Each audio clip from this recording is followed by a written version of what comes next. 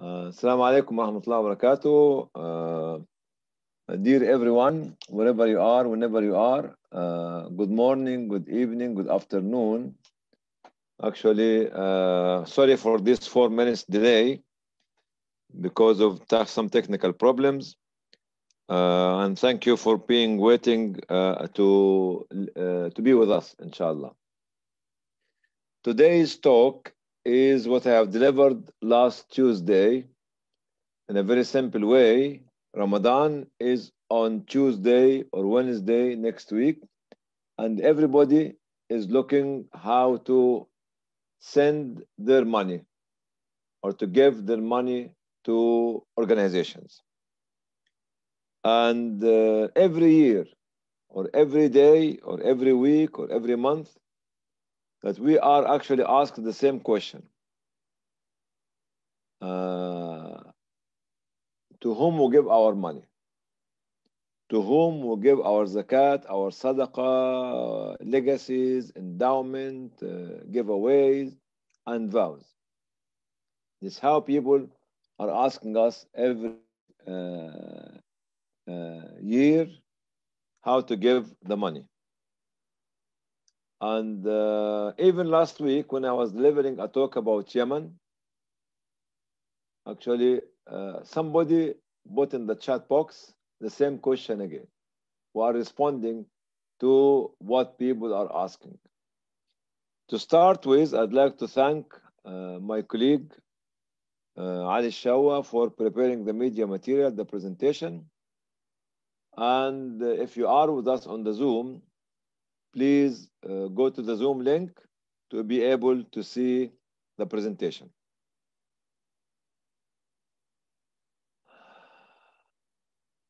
The answer is the most repetitive question. I mentioned it to you. The answer, the brief answer is should give it, should give our money to those who are deserving, who are capable to spend it, those that we trust and they have experience, those who have a record of achievements, and those who are always taking the necessary steps towards spending it.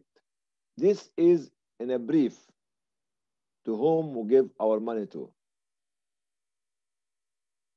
To those who are deserving, capable of spending it, how we trust them, have experience, have a record of achievement, and those who are always taking the necessary steps towards spending it. This is in general.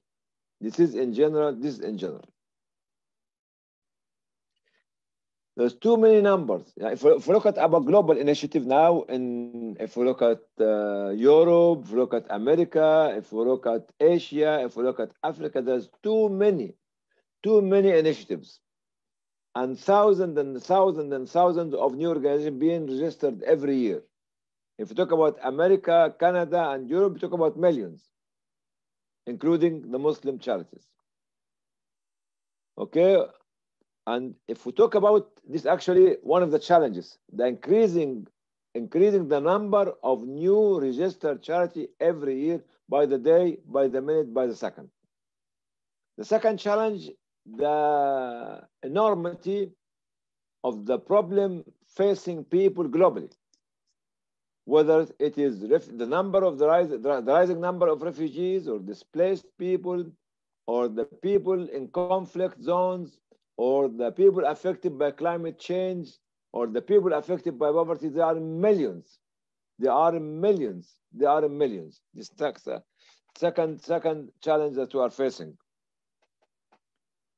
Uh, the third one is to look at the social media. We are not sure that most of the uh, news or the social media is facts, could be fiction. We don't know. So with these three challenges, we have to keep asking ourselves every now and then to whom we give our money to. There's a third challenge, which is very serious.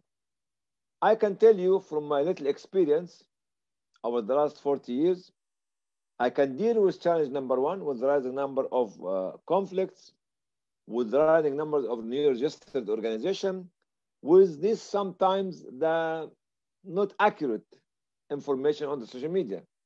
But the problem now we're facing is more painful for us is the infiltration of those who are self-seeking opportunists. Self-seeking opportunists. They infiltrate to the social infrastructure of our societies, wearing Messiah's garments and composing social justice symphonies. The certain individuals coming now in the middle of the crisis affecting people globally, whether it's in Rohingya or Uyghur or uh, uh, Lebanon or uh, Yemen or Syria or DRC or for the Yazidis or for uh, uh, Chad or uh, Central African Republic and others. And they are trying to play the role of Jesus, peace be upon him. These are so painful to find some people, opportunists, are infiltrating the social infrastructure of our society and registering organization. So with these four challenges in front of us, my answer to you is in the next slide.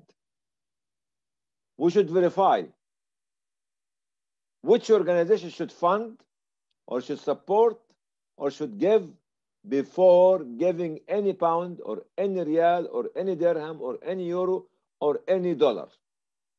And I got 18 points, as I mentioned before. 38 points today to be discussed with you. Point number one, we should actually look at their website, look at their social media profile, and see and discuss their aims, objectives, values, message, mission, and strategy of the organization. We should know that. It's not like the good old days. Everybody is innocent, everybody is sincere, everybody is humble. No. No, no. Look at their aims, objectives, values, message, mission, and uh, strategy. Number two, the operational and professional history. Do they have history? Working where? Working where? What their field of work? Is it inside the country? Is it on a, on, on a village level or a district level or a government level or a national level or global level? And the history, we need to look at it. Number three is the staffs and the trustees. What about them, their credibility and the integrity? Do we know the, the trustees? Do we know who is the executive there? Are they credible, integral, or not? You should keep looking at the names and behind the organizations. Number four is the structure, the organogram of the organization. Okay, the policies of the organization, the procedures, and the constitution. You have the right to keep reading and knowing this before you give your money to anybody before you give your money to anybody. Number five, a geographical area of works and project. As I mentioned earlier, are they working in Africa?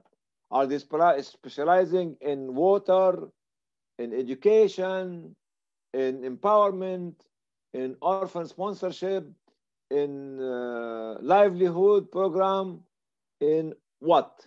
In capacity building, we need to know the projects and we need to the location, which area, is it North Africa, West Africa, East Africa, South Africa, Indian subcontinent, in Pakistan, Afghanistan, China, and other? Where? Should actually look at all this. Then we should examine thoroughly the financial report and annual report and see who is auditing it. Do they have external auditors to audit the financial report or not? Is the value of the figures of the the the, the, uh, the financial report is credible or not. And this is what we need to look at the financial report and the annual reports. Six points. More to come. Do they apply the humanitarian principle or not? Humanitarian principles like neutrality impartiality accountability transparency transparency and good governance. You're right Don't underestimate your power before you give any any pound or euro or dirham or yen or whatever you give. Number eight, is it registered with the government or not? We should not base our donation on personal friendship and relationship with somebody working in the organization. Should be registered in the government, with the government. The admin cost. How much is the administration cost? If some organization comes and tell you, someone come and tell you, zero admin cost, you have to put, the, you see, you have to put a big question mark. Big question mark. Look at my talk, which I put, posted it on my Facebook and uh, YouTube a few days ago. Zero admin cost found only in heaven, not on earth. Zero admin cost, when somebody is claiming that there are zero admin cost, is only found in heaven because Allah is making everything for us. On earth, there's nothing called zero admin cost. They have to declare if somebody, some businessman or some foundation is sponsoring the salaries, the electricity, there is, they have to declare it because this is in kind donation to the organization because it's a charitable organization. Nothing called zero admin cost. Please, if somebody tells you zero admin cost, you have to ask more questions. Do they have a recommendation letter from governments, from other organizations, from dignitary or not? Very important. It's number 10. Do they have volunteering system? And do we know some of the volunteers to ask them the tricky questions about how they treat volunteers or not? Do they have partners or not? Or they don't want to build any partnership with anybody? It's another question we ask. It's number 12. Keep reading the literature. Keep reading it to understand from the way you look at the images, the photographs, and the statements to understand the characters of the organization. In the executives and in the board level or on the board level and the executive, do they represent the society gender-wise, male and female, age-wise, young and old, culture and value-wise and ethnic-wise to represent what in the country. You see, if you are in UK, UK is um, multiracial, multicultural, multi-faith, multi, multi, multi, multi. And I've got all this. You have to look at the uh, component actually who is working and who is making the decision. Do they represent the society or not? It's participation in different platforms, initiatives on national, regional, and global levels. There's some big events happening. Are they joining hands with other organizations or not? Are they or not? This is another question which you need to ask as well.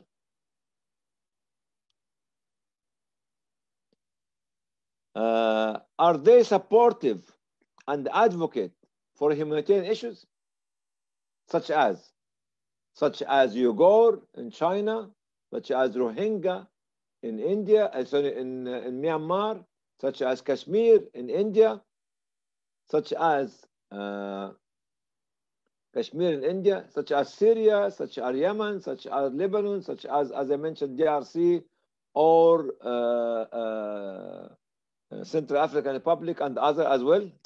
Do they stand for these issues or not? The relationship between, with them, between other organizations, is it complementarity or competitiveness? Is it competitiveness? They want to be before the others, to take the fund before the others, or they're complementing the role of the other organizations. Number 18, it's philosophy of thinking, theological, ideology, manners, and culture. All these 18 points, dear my friends, my colleagues, my brothers, my sisters, you have to keep asking before giving any money to anyone, who can shed tears and make you excited. Not anymore. Not anymore. Not anymore. And more. You can change these 18 points into five or six or seven, or you can make them 30. Because what I'm saying is my experience and it's not a Quran or Bible or Torah. Slide, Ali. There's some more warning, as you can see it in the coming slides. Which organization we should be very careful of taking a back step and not working with them yet. Have to be very careful to uh, work with them. Very careful to work with them. Number one, those who claim that they are the best, the first, the largest, the strongest, and the everlasting, and showing all these signs of arrogance. If you find me extremely arrogant, you have to take a back step and give me advice. And I'm telling you, don't give me the money unless I change my arrogance into humility, showing the humility and being humble. Because I'm dealing with poor people, money. I shouldn't behave like an arrogant individual who said, I am, I am, I am, I am. No, no, no. This number one. Number two, as I mentioned in the first part about the people who claim 0%, also you have to freeze till you think and keep asking how you cover your admin cost. And if you are satisfied, give money. If you are not satisfied, give it to somebody else who can actually be honestly be transparent with you and telling you I take five or 10 or 20% of the donation. Those people also who claim 0% from zakat. Allah subhanahu wa ta'ala divided zakat into eight categories, one of which is al-amilin alayha, which is to be paid for the people who are collecting zakat. Okay, I'm, next week I'm doing some talk about zakat and especially how to distribute zakat money in English and Arabic, Tuesday and Friday next week. So wait for, for that. The people are saying that 0% zakat, you have to be very careful. Allah, in the five pillars of Islam, which is Shahada, Kalima, the word of Tawheed, uh, fasting, uh, pil uh, pilgrimage, uh, uh, prayer, it's personal. It's personal. That's why there's no administration in it. But the only one has the administration is zakat. Why? You know why? Because Allah in His knowledge knew that you people are going to institutionalize zakat to become like an institution or organization. That's why to appoint, He has to appoint people to safeguard, to collect and spend the zakat. Number four, the backbiters, the people talk, talk, talk, talk, talk, talk, talk backbiting you, back, back to back, back, back, back, back, back, back, backbiting you. Don't listen to them. Don't give them your ear. Don't ever give them your ear by telling you, you see, this organization is so and so, uh, this woman is so and so, this man is so and so. No, don't give them ear. In this field of work, the humanitarian work or the charitable work, backbiters are ugly characters. No matter what they say and tainted with sweet nothing, don't listen to them especially when it backbars the, the other organization and uh, other uh, personalities. The organization actually, uh, those who do not represent societies, as I mentioned before, but instead they represent a faction, political party, or narrowly jurisprudential school of thought represent ideological philosophy not suitable for the local communities. If they represent this, take back step and think before you give money. Okay? Don't have regular financial report, audited. I mentioned it before. The organization that you think, that you think they are one man show. I remember when I came here uh, 40, 43 years ago, there was one very big national organization, very vibrant and active. This was 43 years ago. It was established before I came. But the chairman or the founder did not let go. He died few years ago. Rahmatullah Allah blessed with his soul. But the organization died before he died. It was, was on a national level that shrank and nobody knew about it. So this one man show, which is suffering from the founder or the chairman syndrome, please take a back step and find someone else. The organization who don't have policies, procedures, good governance, and don't apply humanitarian principles.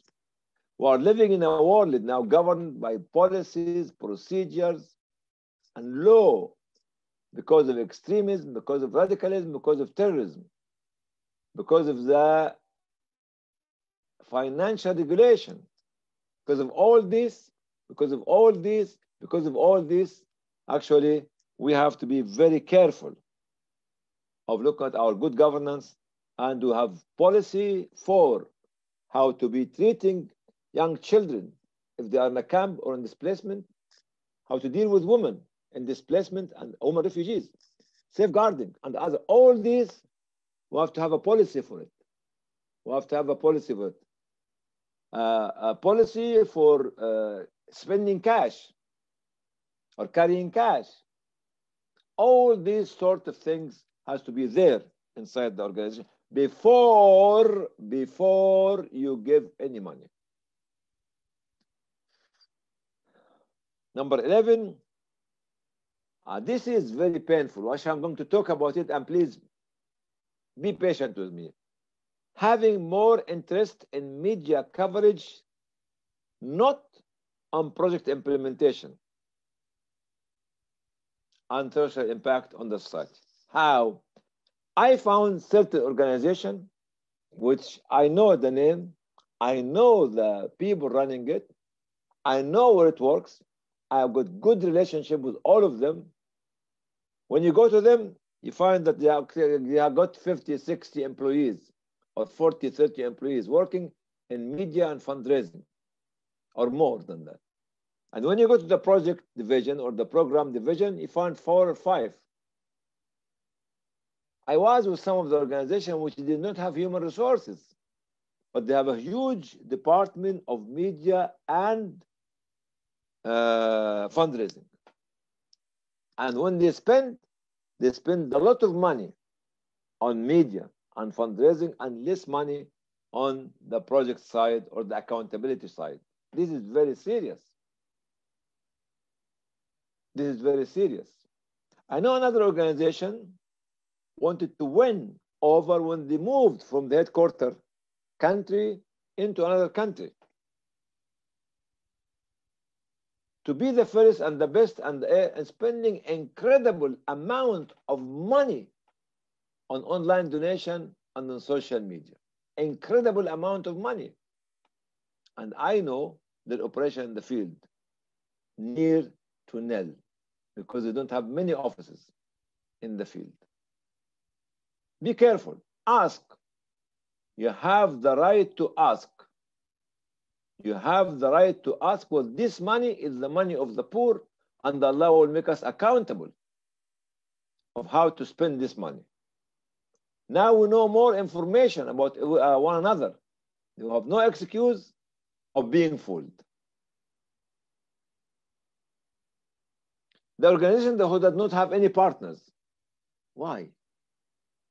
Nobody nowadays can work in isolation to others.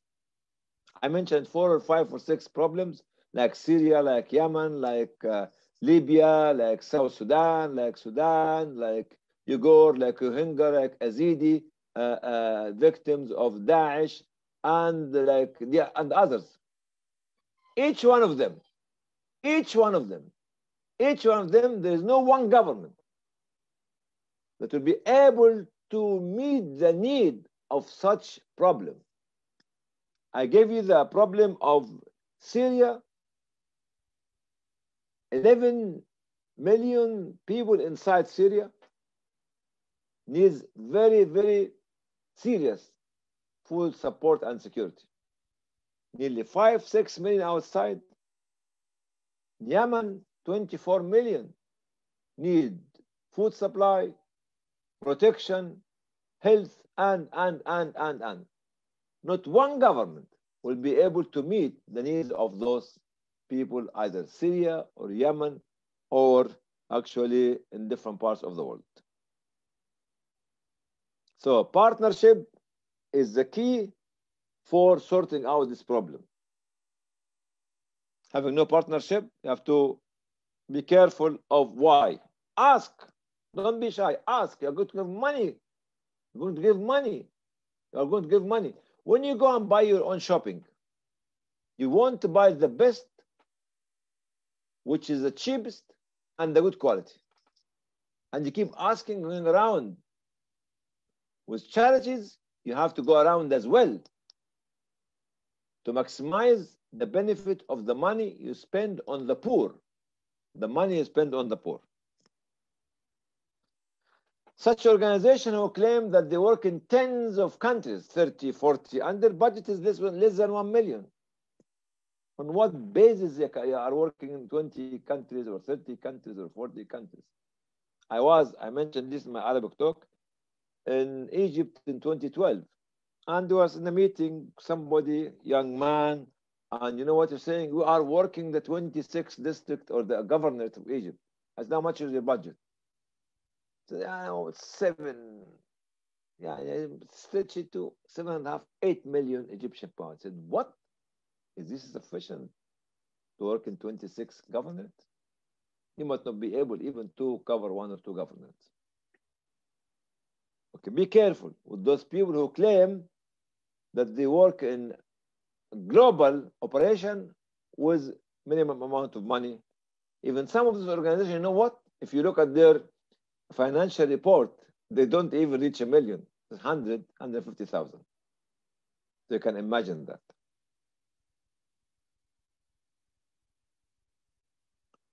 Uh, look at the board members and their history. Do they have a dubious history before they came to organization? Do they still having a connection with non-humanitarian organizations, which might affect the credibility and the integrity of the organization or not? You have to look at this because you'll be accountable to the money you give to such organization. In the world of counter-extremism, radicalism, and terrorism, you have to be very careful because people could get done by donating to organization which actually having uh, some dubious board members. Number 15, board members or executive are benefiting really directly or indirectly from the organization. And I know quite a few. Like what? Like they establish a company, business company, and let this business company to be registered in the name of their sister or cousin or uncle or friends and they get the contract to the company because they are not a member of, a, a member of the company through his organization. He could be or she could be the chairman, but who is benefiting? The family member. And this is happening. You know, this is happening. Find a way to say, no, I'm not going to give you money. Find a way to find somebody a political figure in the organization who is benefiting his political party or her political party from the fund of the organization. Find in this organization people who might be affected to a religious group and benefiting the religious group from the fund of the organization. You have the right to ask. You have the right to ask, absolute right to ask. Okay? uh, having look at the organization becomes like a family business. Somebody is employing his relatives, become like sectarian from certain clan, certain group, ethnic group, certain racial background, and they claim that they represent the society. No. Family, tribal business, political, sectarian, cultures. No. Keep looking. Why only from this tribe? Why only from this ethnic background, which you are claiming that you are a relief, big relief organization? Actually, helping everyone and representing everyone.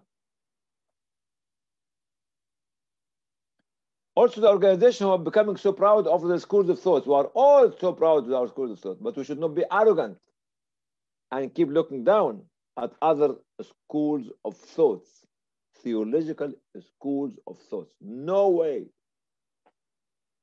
of claiming that you are X and your school of thought is better than my school of thought. Or I claim that my school of thought is better than you. In the social arena or in the humanitarian arena, there is no school of thought is better than others. We might keep it to ourselves and try to guide people, but we do not claim it. Once we start to claim it, we are doing no justice for our uh, owner of the organization, which are the poor and needy people.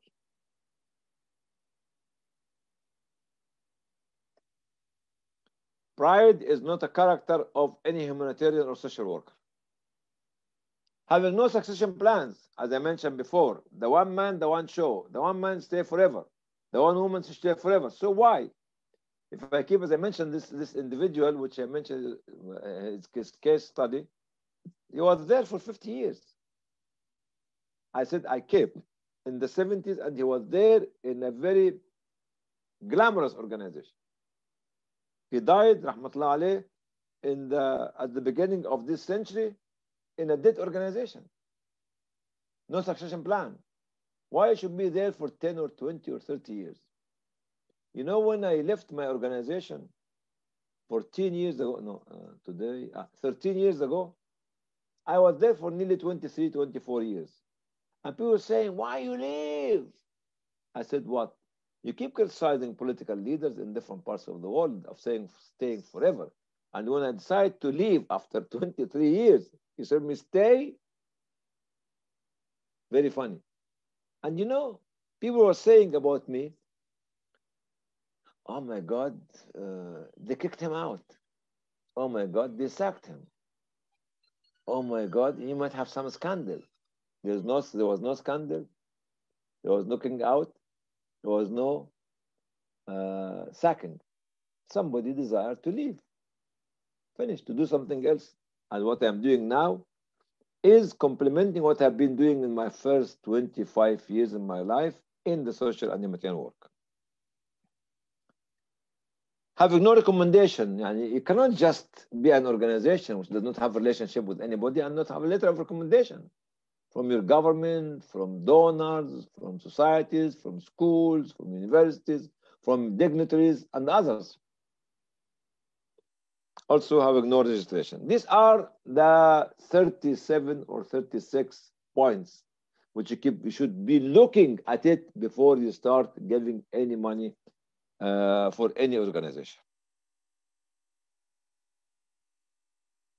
Number 21, is those who spend more money on media campaign. You know media campaign?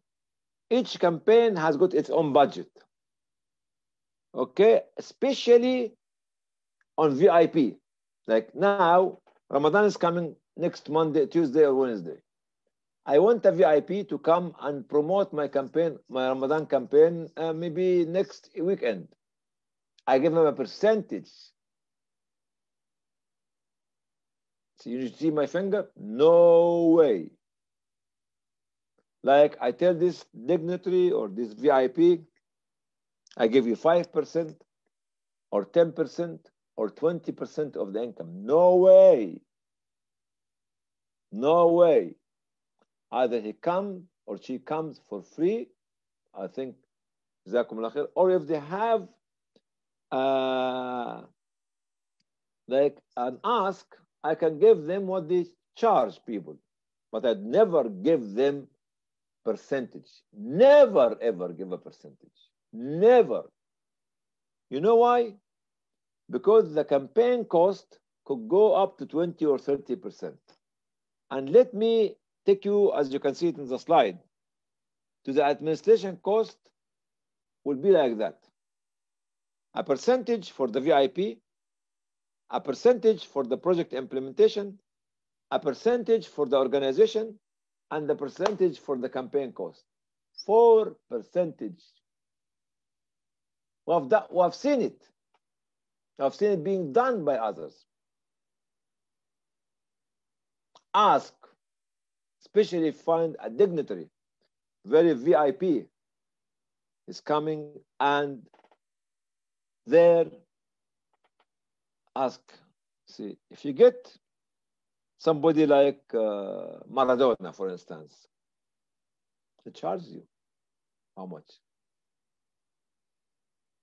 You got it? You got the message? All right. This is my message as i always deliver this message at the end of my talk especially to the young people. My message to you, young men and women, is humanitarian and charitable work became a profession. Profession like medicine, like engineering, like uh, botany, like teaching, like uh, becoming a policeman or an army officer or a nurse or a lawyer, or like a profession a profession with it all the policies and the procedures and all the culture of the profession of, of, of the profession itself. Charitable work also is a social, listen to this, please, and write it. It is a social industrial system overlapping with every walks of life in our society. It's a social industrial system overlapping with every with all the works of our society. Yeah, because you know, you know what? Humanitarian, you know, if, if you know what is the meaning by soft power and and and, and uh, uh, hard power and uh, uh soft and hard and rough power uh, soft power of a country is the, the most powerful soft power in the country is humanitarian work. Even before media, even before culture, even before fashion, even before food, even before art, even before drama. You know why? Because humanitarian work can, can reach anywhere where nobody else can reach. That's how I'm saying it. The charitable work is a social industrial system overlapping with all walks of life in our societies. Young men and young women, listen to this. Also, humanitarian and charitable work is not a profession for home. Of those who have no profession, not because I don't have anything to do, I go out and become a charitable or humanitarian work. No, it's become a profession exactly like a doctor, medical, or like an engineer, or like a teacher, or like a professor in the university, or a politician, or a businessman, or an economist. Humanitarian charitable work also is not emotional improvisation. No, not emotional. We also sometimes use the emotion, but it's not that carried out by those who have no knowledge or experience of its framing and guiding tracks. It's no. It's not some something to be jumping, uh, crying, and screaming, and you don't know what you're talking about. Quite often, people like this go to the mosques or to the religious, other religious uh, places and try to let people cry to raise the fund. Humanitarian charitable activities, young men and women, is flowing dream. You know, when you dream, is a flowing dream in the hearts of the poor. Is flowing dream in the hearts of the poor. Is glittering lights in the eyes of the needy. Is glowing feeling inside the sensations of the oppressed.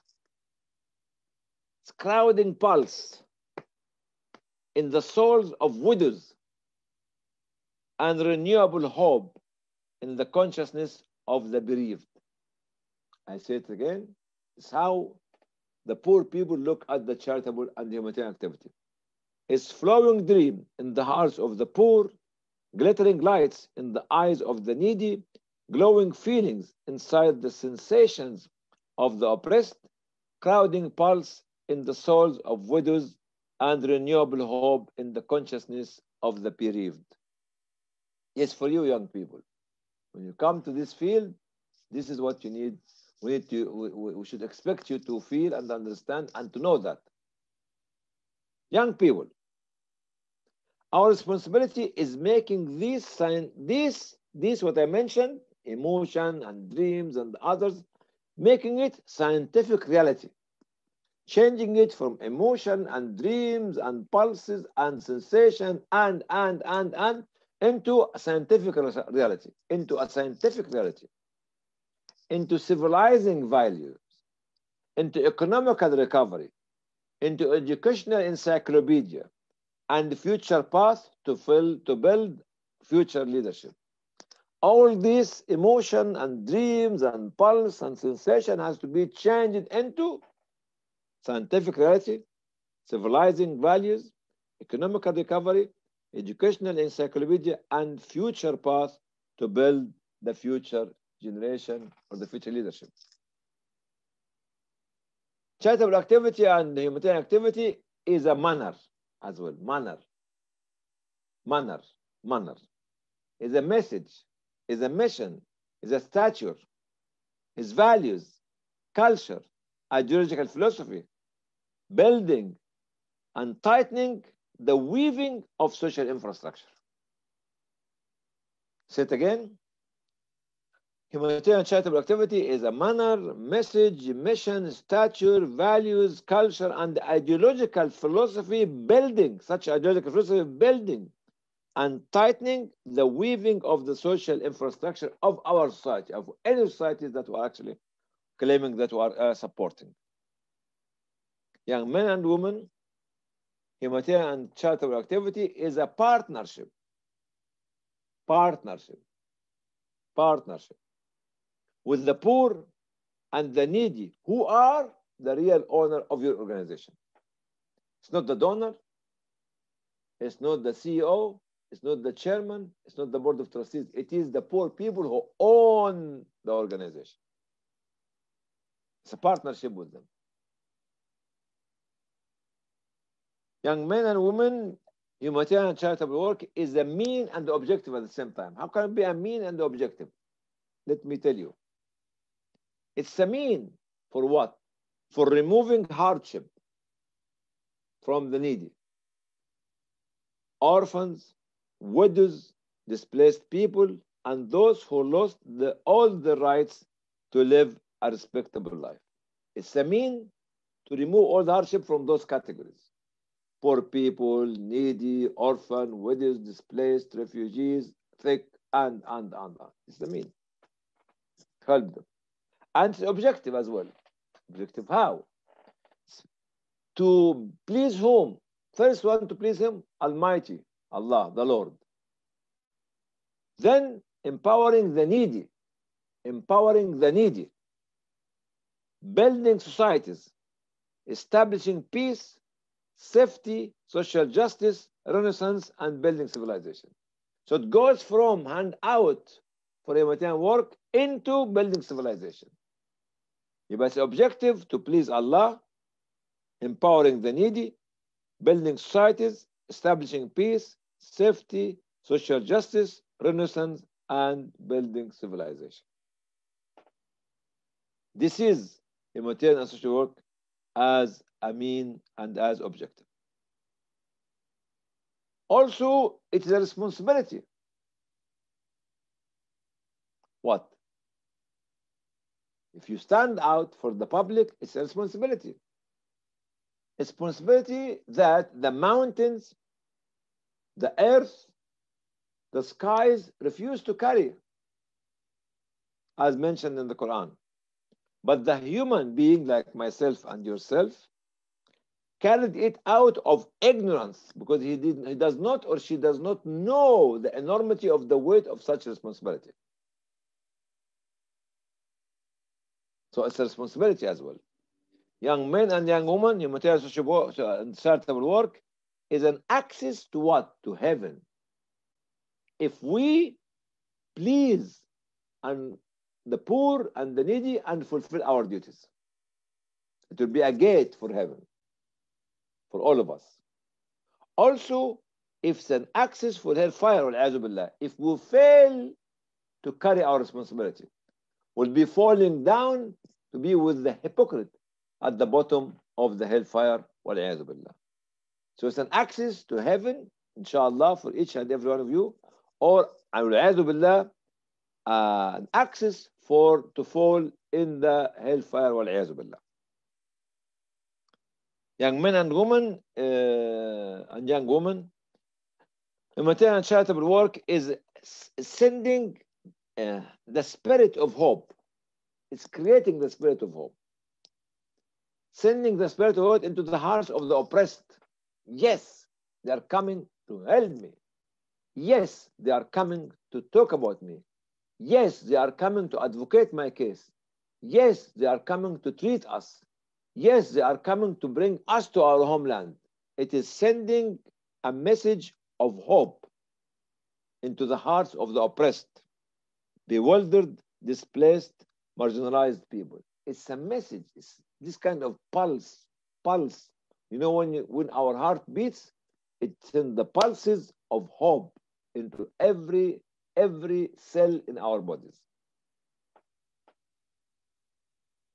This is my intervention with you today before Ramadan, telling you be careful. Don't listen to me because I talk very nice. Search, search, search what I say and what I do in my organization. And please, please investigate my organization because you put, before putting any dirham or dollar or riyal or pound or euro in the bank account of my organization. You have the right to do that. And I got 37 or 38 points. There you can use them. It's not a Quran by, by, by, by or, or, Bible or Torah, as I mentioned before. It is just some, some experience for you to be guided by. You can take all of them. You can take five of them. You can make them 50 or 60. It's up to you. And I thank you today for being patient with me.